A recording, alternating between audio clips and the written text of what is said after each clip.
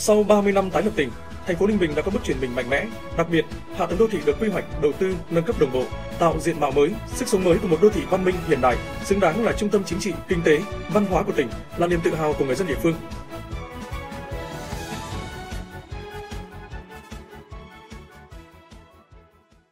Thời điểm mới tái lập tỉnh, thị xã Ninh Bình có quy mô nhỏ bé, diện tích chỉ khoảng 8,4 km vuông, dân số 5,1 vạn người với 5 đơn vị hành chính. Khi đó đời sống nhân dân gặp nhiều khó khăn, kết cấu hạ tầng đô thị còn nhiều hạn chế, đặc biệt hệ thống đường giao thông thiếu vốn đầu tư, đường nhỏ hẹp, xuống cấp và bụi bẩn. Hai bên đường chủ yếu là nhà cấp 4 lụp sụp. Toàn tỉnh chỉ có hai tuyến đường huyết mạch là quốc lộ 1 và quốc lộ 10, kết nối tỉnh với thủ đô Hà Nội và các tỉnh trong khu vực được trải thảm nhựa. Hạ tầng giao thông yếu chưa thuận lợi cho việc đi lại, giao thương phát triển du lịch, sau khi được chính phủ mở rộng địa giới với 14 đơn vị hành chính, quy mô dân số tăng, thì đến năm 2005, thị xã Ninh Bình được công nhận là đô thị loại 3. Năm 2007, chính phủ ban hành nghị định số 19 về việc thành lập thành phố Ninh Bình và đến năm 2014, thành phố đã được công nhận là đô thị loại 2 trực thuộc tỉnh. Đến nay thành phố đã có sự phát triển toàn diện về mọi mặt, trong đó hạ tầng đô thị được đánh giá là một điểm sáng nổi bật. Trải qua các thời kỳ phát triển, giao thông của thành phố Ninh Bình có những đổi thay rõ nét. Giao thông nội thị liên tục được quy hoạch, đầu tư, xây mới và ngày càng hoàn thiện. Các tuyến đường không chỉ được mở rộng mà còn được nâng cấp đồng bộ với 100% được trải bê tông thảm nhựa. Thành phố Ninh Bình còn là đầu mối giao thông của ba tuyến đường cao tốc Cầu Rẽ Ninh Bình, Ninh Bình Thanh Hóa Vinh và Ninh Bình Hải Phòng Hạ Long. Thành phố cũng nằm ở vị trí giao điểm của quốc lộ 1A với hai quốc lộ 10 và quốc lộ 38B đi qua các tỉnh vùng duyên hải Bắc Bộ. Bởi vậy nơi đây đang được xây dựng trở thành một trung tâm dịch vụ, du lịch và là đô thị đầu mối giao thông ở cửa ngõ của miền Bắc.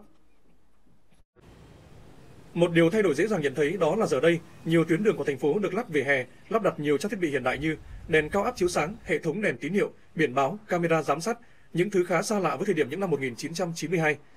Nhiều công trình giao thông có quy mô lớn, mang tính đột phá đã được đầu tư phát huy hiệu quả cao, tạo diện mạo mới cho quê hương. Hiện thành phố có 40 tuyến đường văn minh đô thị đảm bảo hành lang an toàn giao thông, các tuyến đường khang trang, sạch đẹp, tạo điều kiện phát triển mạnh về dịch vụ thương mại như đường Đinh Tiên Hoàng, đường 30 tháng 6, Tràng An, Trần Hưng Đạo. Cùng với sự phát triển của giao thông là quy hoạch về đất đai, xây dựng có sự thay đổi phù hợp, những ngôi nhà cao tầng mọc lên san sát, các trung tâm thương mại mua sắm hiện đại được mở ra nhằm phục vụ đời sống dân sinh. Thành phố đã tập trung nguồn lực phát triển kinh tế, tạo dựng không gian cảnh quan đô thị du lịch. Hàng loạt các công trình điểm nhấn như nhà thi đấu thể dục thể thao tỉnh, quảng trường, công viên văn hóa Tràng An, nạo vét và kè sông Vân, kè hồ máy xay, hồ biển Bạch, tất cả giúp diện mạo của thành phố ngày càng khởi sắc. Đời sống kinh tế phát triển, nhận thức của người dân được nâng lên. Trên địa bàn thành phố, nhiều mô hình về đảm bảo vệ sinh môi trường mỹ quan đô thị được nhân dân hưởng ứng và tham gia tích cực. Đến nay các mô hình nhà sạch phố đẹp được nhân rộng ở khu dân cư, việc thu gom rác đúng giờ, đúng nơi quy định cũng được người dân chấp hành nghiêm túc. Trong giai đoạn 2015-2020, thành phố đã triển khai đầu tư với 207 công trình, dự án với tổng mức đầu tư 2.143 tỷ đồng, tổ chức triển khai nâng cấp cơ sở hạ tầng 3 xã Ninh Tiến, Ninh Nhất, Ninh Phúc theo tiêu chí trở thành phường,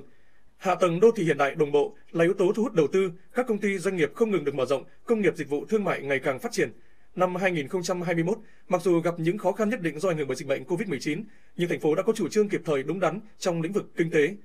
Qua đó tạo việc làm cho trên 2.200 người, thu nhập bình quân đầu người đạt 63,2 triệu đồng một năm. Kết quả thu ngân sách nhà nước trên địa bàn thành phố đạt 1.051,6 tỷ đồng, tăng 27% dự toán tỉnh giao. Nhờ đó đời sống nhân dân không ngừng được cải thiện về vật chất tinh thần, kinh tế thành phố ngày càng có nhiều khởi sắc. Không dừng lại ở đó, để tiếp tục hoàn thiện kết cấu hạ tầng đô thị, thành phố tiến hành xây dựng và quản lý đô thị giai đoạn mới, bước đầu giả soát, nghiên cứu đề xuất phương án điều chỉnh quy hoạch chung, quy hoạch phân khu, xây dựng quy hoạch sử dụng đất giai đoạn 2020-2030 phù hợp với các điều kiện kinh tế xã hội, đảm bảo tính khả thi, có hiệu quả trong quá trình tổ chức thực hiện.